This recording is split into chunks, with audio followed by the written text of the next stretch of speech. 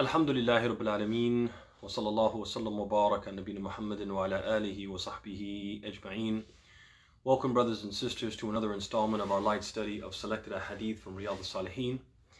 And today we'll be looking at the 26th hadith of our study.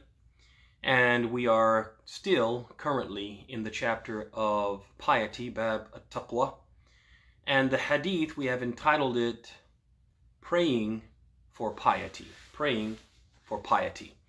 And that hadith is the hadith of Abdullah ibn Mas'ud radiallahu anhu أن النبي صلى الله عليه وعلى آله وصحبه وسلم كان يقول اللهم إني أسألك الهدى والتقى والعفاف والغنى اللهم إني أسألك الهدى والتقى والعفاف والغنى رواه الإمام Muslim So in this hadith, Abdullah ibn Mas'ud radiallahu anhu, he reported that the Prophet sallallahu alayhi wa ala alihi wa sahbihi wasallam, he used to say the following supplication. O oh Allah, I ask you for guidance, for piety, for chastity, and self-sufficiency. O oh Allah, I ask you for guidance, piety, chastity, and self-sufficiency. And the hadith was collected by Imam Muslim rahimahullahu ta'ala. In this hadith, of Abdullah ibn Mas'ud, he informs us, the, he informs us that the Prophet sallam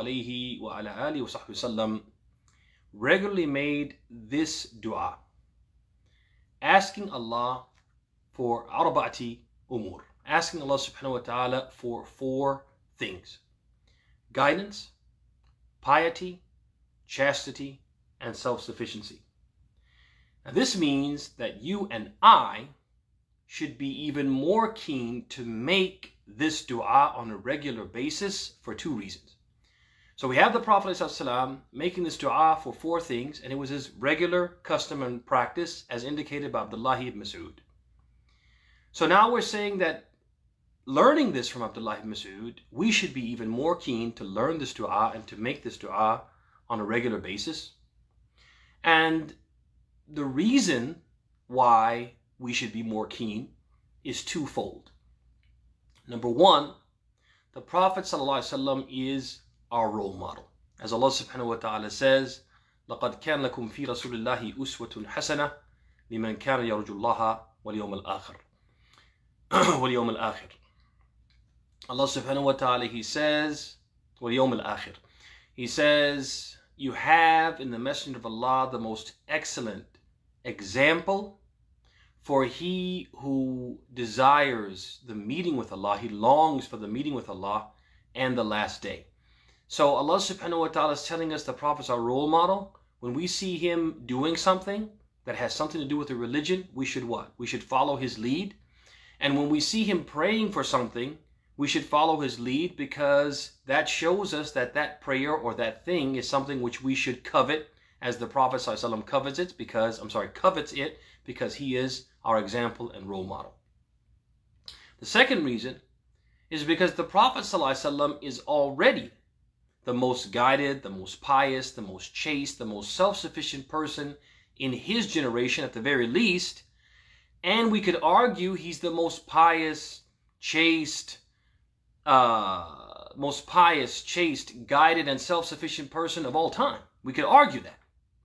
So if he, despite his massive share of these qualities, felt the need to ask Allah subhanahu wa ta'ala frequently for these very same qualities, that means that those of us who lack his share, we have less than his share. We're not as pious, as guided, as chaste, as self-sufficient as the Prophet.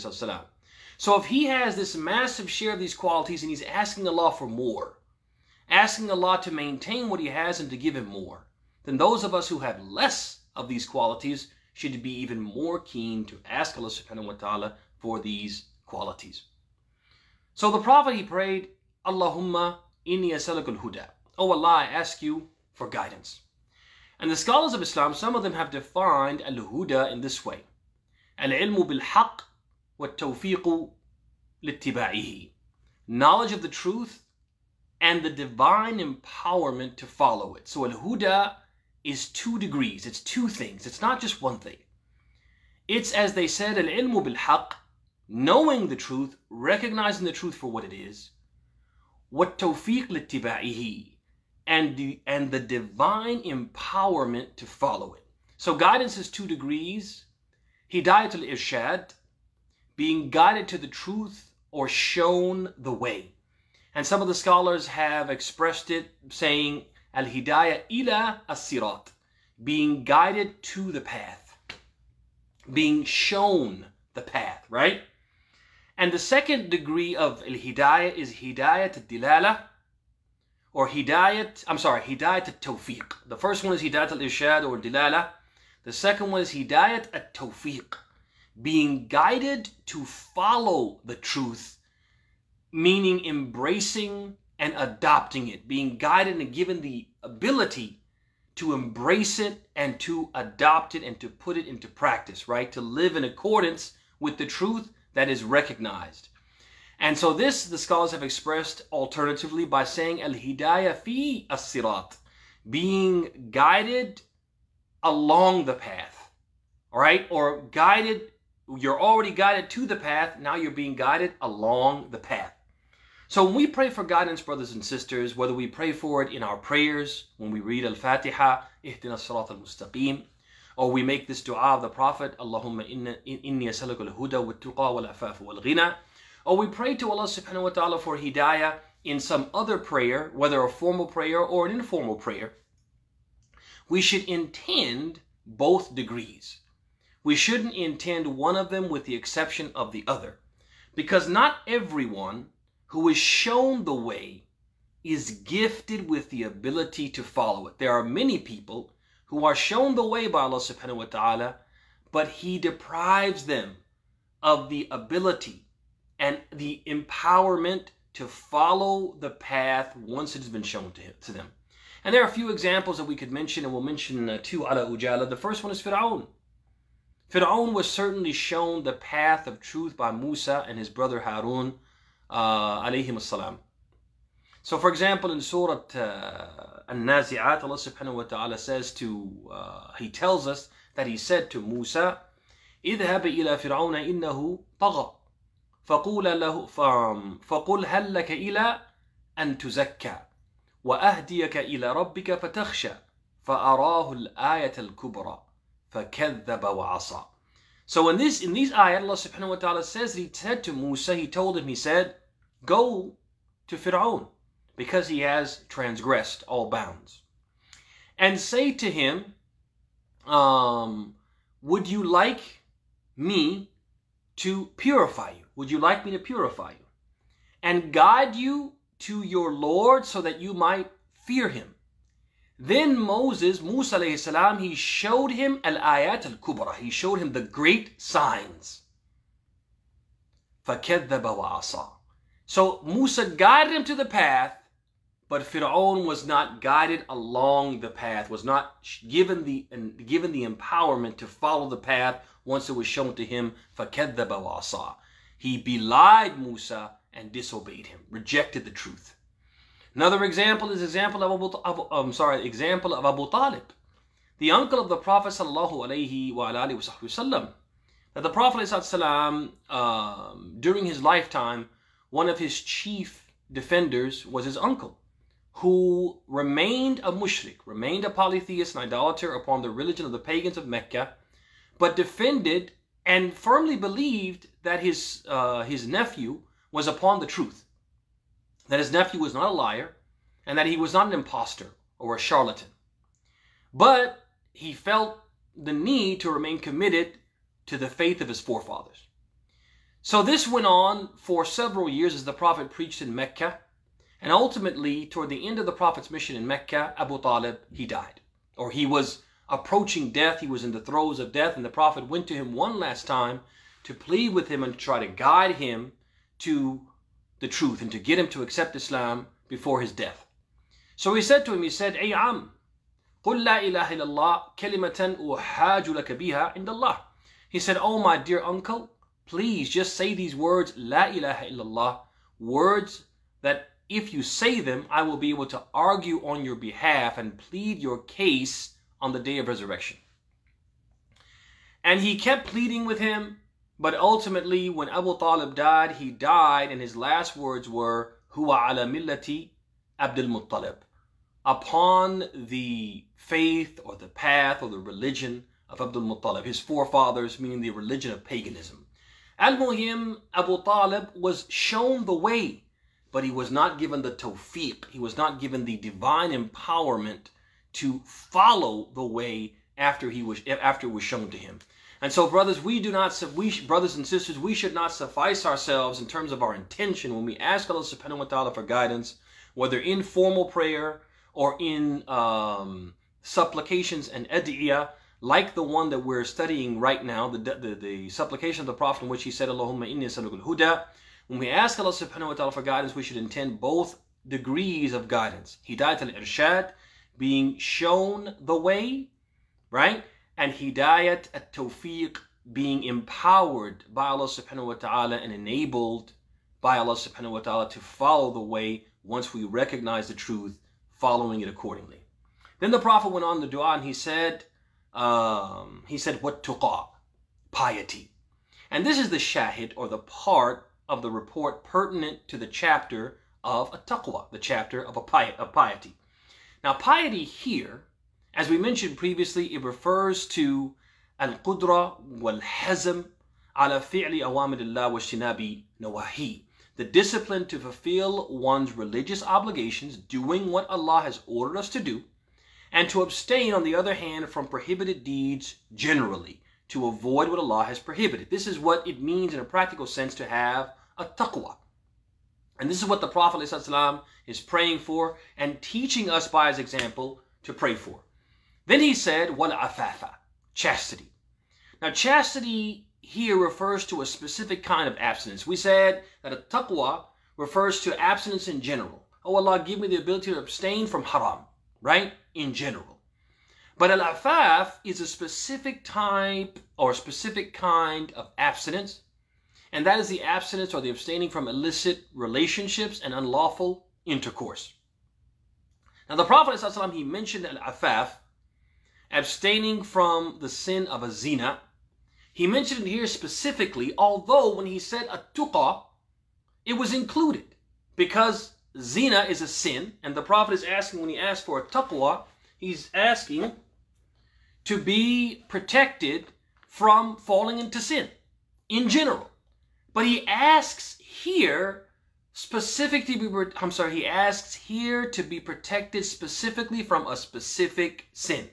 And that is the sin of a zina. And the reason for that, the reason why the Prophet now, after mentioning al-am, he mentions al-khas, the reason why the Prophet did that is because one, man, as we mentioned previously, is particularly weak when it comes to sexual desires. And we mentioned previously, we mentioned this previously when we're covering the previous hadith, and we'll mention it again here. The Allah subhanahu wa ta'ala says about man and his desire for intercourse and his desire for um, relationships with the opposite sex. He says, وَخُلِقَ الْإِنسَانُ ضَعِيفًا And man was created weak with this weakness for sexual pleasures and lust, etc. And Tawus, he explained, he said, ضَعِيفٌ فِي أَمْرِ النِّسَاء Weak when it comes to what? When it comes to the opposite sex or women.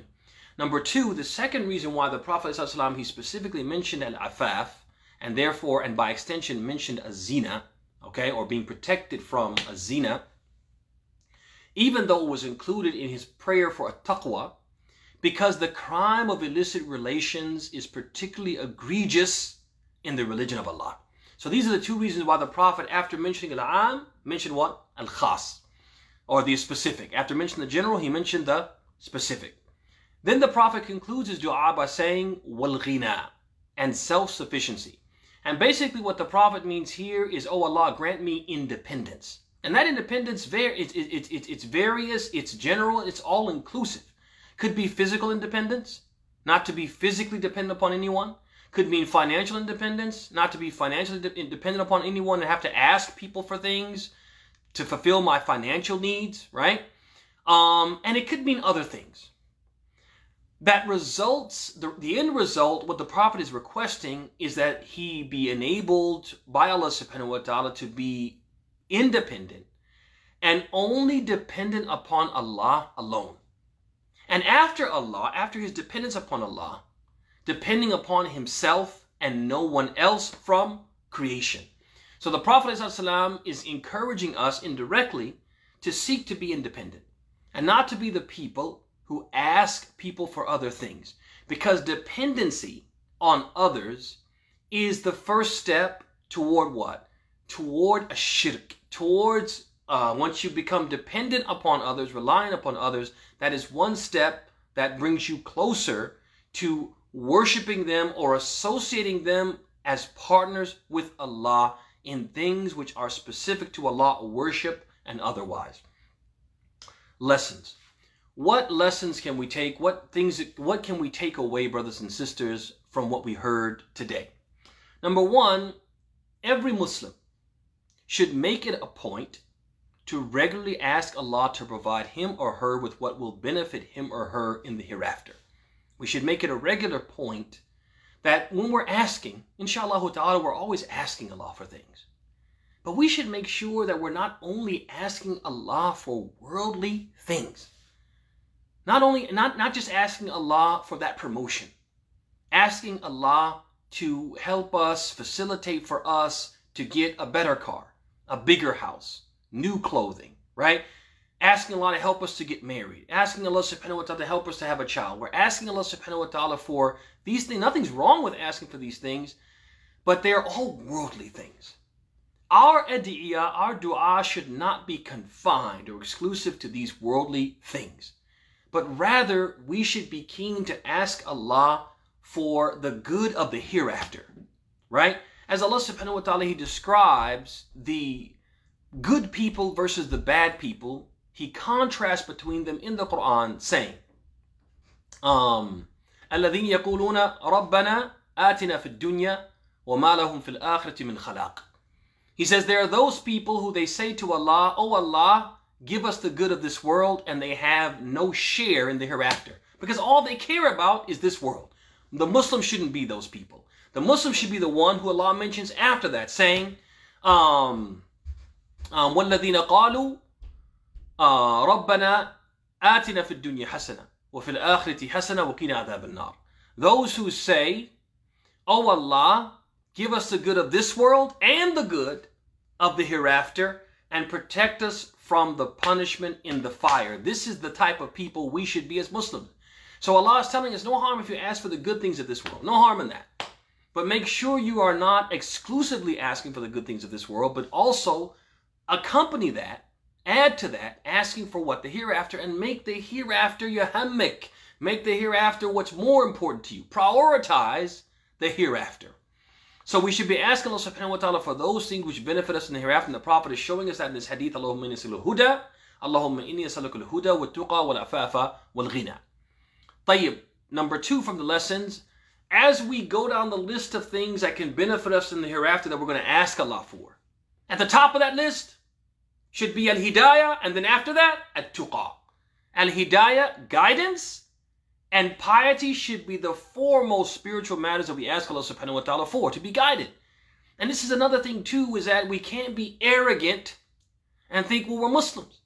We're already guided. And I've actually heard people say that. Why do we need to ask for guidance where Muslims were already guided? Because guidance is two degrees, two levels. Al-hidayah ila sirat being guided to the path, shown, hey, this is the truth, and recognizing it as such. But the second type of hidayah is the one that is more precious, and more pe- many people are deprived of it, even the people who've been guided to the truth who call themselves Muslims.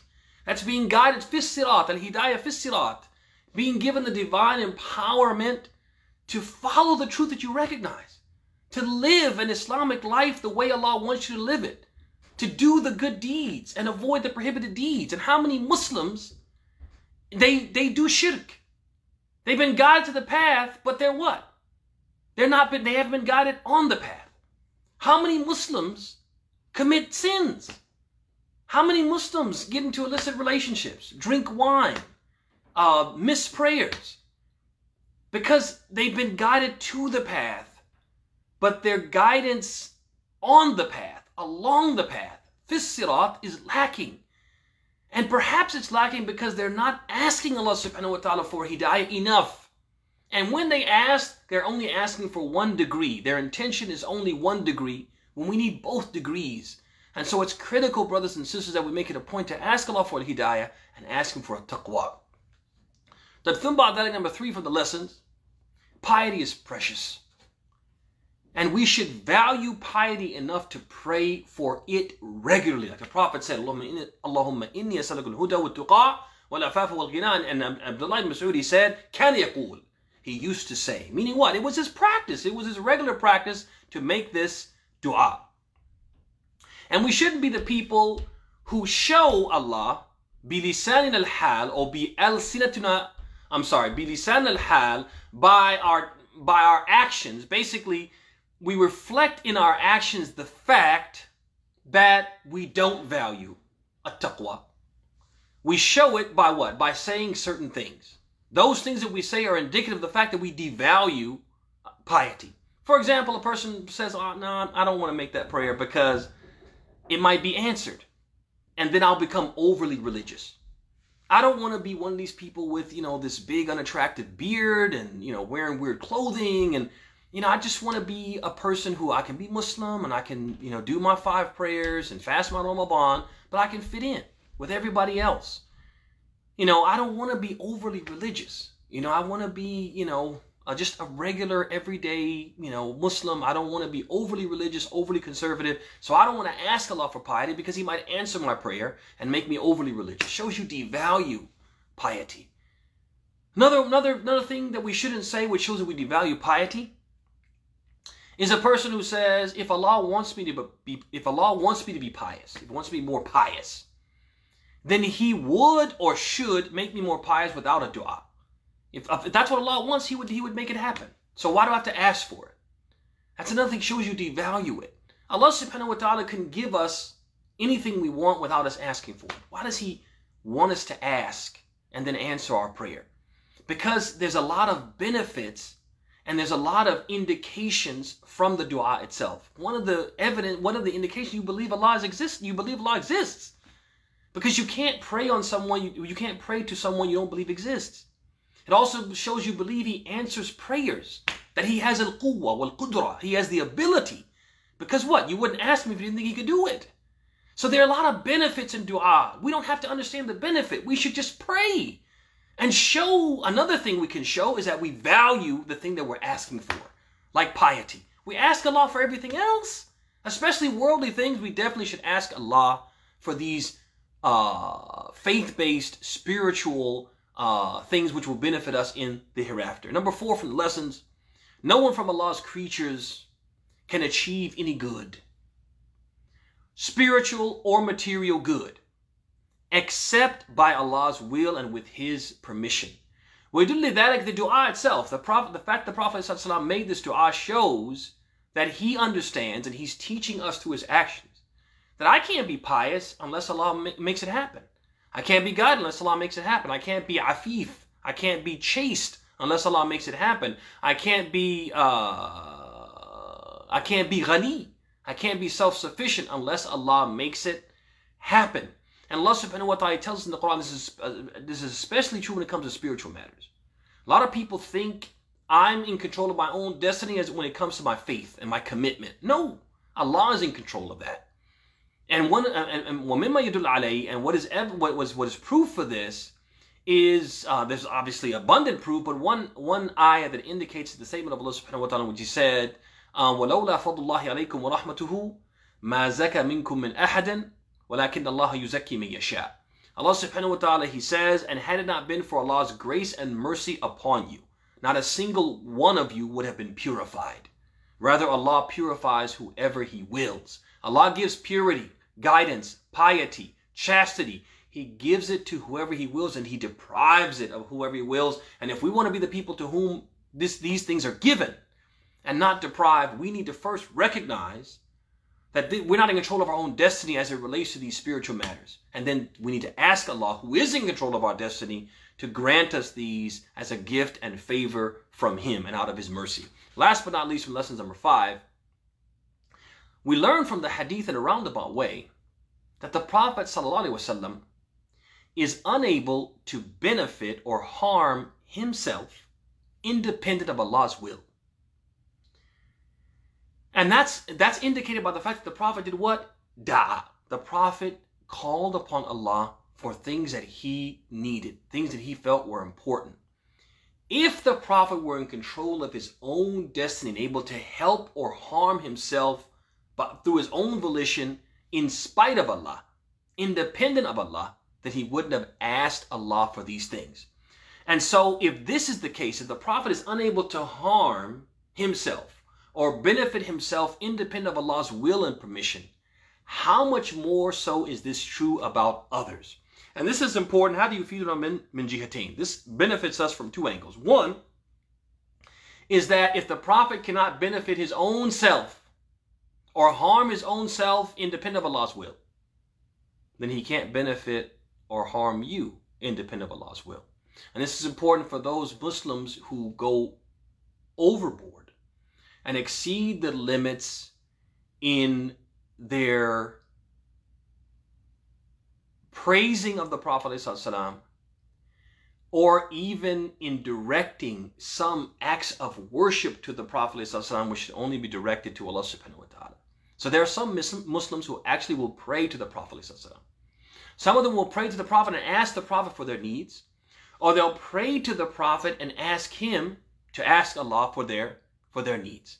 One of them, the latter, is bid'ah, and the first one, the former, is actually shirk. It's a major sin. It is the, the greatest crime anyone can commit and the thing that the Prophet came to eradicate first and foremost. And so this is important. The second jihad, the second angle from which we benefit, is that if the Prophet can't help or harm you without Allah's uh, will and permission and enabling, because he can't do that for himself, then no one else can either. And if we can't pray to the Prophet, then we certainly cannot pray for someone who is less than him like a saintly person. And so this is important. We have to understand that who should we be calling on for these spiritual, for our spiritual or material needs? Who should we be calling on? Allah subhanahu wa ta'ala. If you notice in the Quran, Allah subhanahu wa ta'ala is very clear, emphatically clear, that He is the one who should be called upon and He is the one who should be worshipped with a dua and other than dua. And one specific indication, which is very subtle, but it's very clear at the same time, that Allah wants to be called upon alone with no was with no uh, wasit, with no uh, wasa'it, with no intermediaries. Is the ayah in Surah Al-Baqarah in the context of fasting in which Allah subhanahu wa ta'ala says وَإِذَا سَأَلَكَ عِبَادِي عَنِّي فَإِنِّي قَرِيبٌ أُجِيبُ دَعْوَةَ الدَّاعِ إِذَا دَعَانِ فَلْيَسْتَجِيبُوا لِي وَلْيُؤْمِنُوا بِي لَعَلَّهُمْ يَرْشُدُونَ Allah subhanahu wa ta'ala, He says, and if my servants ask you about me, I am indeed near to them. Allah subhanahu wa ta'ala, the regular sunnah of Allah in the Quran, is when people would come to the Prophet ﷺ for asking, asking him a question, and he waited for divine revelation for the answer. Whenever the answer came in the Quran, Allah would begin it by saying, They ask you, and then say, Qul, say.